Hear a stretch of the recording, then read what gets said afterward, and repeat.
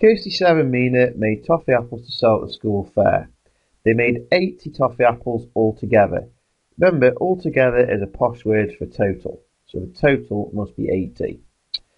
Kirsty sold 12, Seb sold 25, Mina sold 17. How many toffee apples were left? Well, the first thing we've got to do is we've got to find out how many they actually sold. So we're going to do this using an addition column method.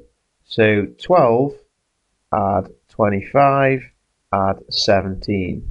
Make sure the numbers are lined up in the correct columns. So we've got 5 and 7 is 12, plus 2 is 14. Put your 4 in, carry your 1. 1 plus 2 is 3, plus 1 is 4, plus the extra 1 is 5. So that means they sold 54 toffee apples. However, they actually made 80. So we now need to use another column method to find the difference from 54 apples that they sold up to 80 that they made altogether and the difference will be how many were left. So if we start with 80 toffee apples, which is what they made, and we take off the 54 that they sold, whatever's left will be how many's left.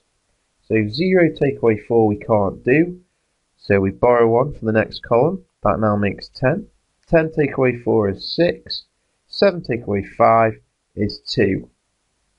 So they must have had 26 toffee apples left. So your answer in the answer box needs to be 26.